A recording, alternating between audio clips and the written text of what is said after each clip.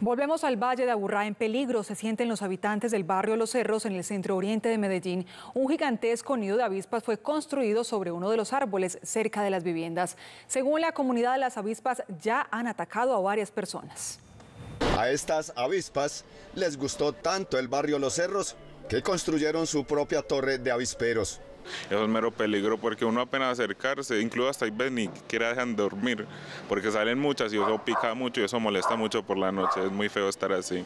Seis pisos en el tallo de una palmera muestran los frutos del esfuerzo de estas avispas para quedarse a vivir en el barrio. Entonces son de esas avispas negras, hasta yo les eché agua y un líquido para que se se morían y nada. Y eso era esto aquí horrible, aquí al pie de la puerta de la casa, que hasta tuvimos que cerrar el balcón.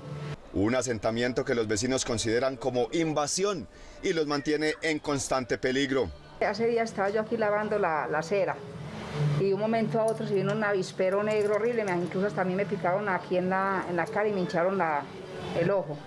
Ya ha habido varios encontrones entre las dos especies desde que las avispas llegaron a disputarle el hábitat a los humanos. Lo hemos intentado tumbar, sino que sabe que eso por allá es que está muy duro.